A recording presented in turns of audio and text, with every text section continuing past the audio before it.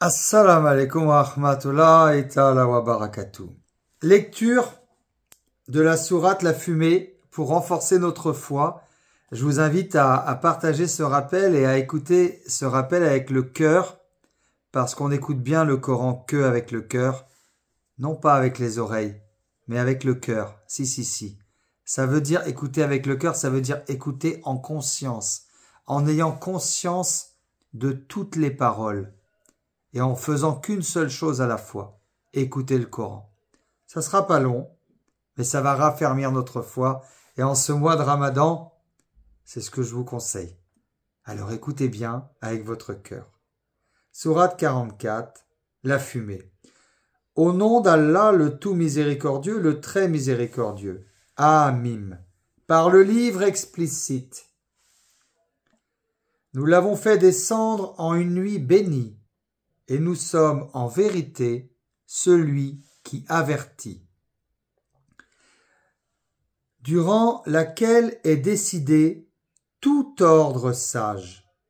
C'est là un commandement venant de nous, c'est nous qui envoyons les messagers. À titre de miséricorde de la part de ton Seigneur, car c'est lui l'audient et l'omniscient. Seigneur des cieux et de la terre et de ce qui est entre eux, si seulement vous en étiez convaincus. Point de divinité à part lui, il fait vivre et mourir, il est votre Seigneur et le Seigneur de vos premiers ancêtres. Mais c'est là, dans le doute, les gens s'amusent.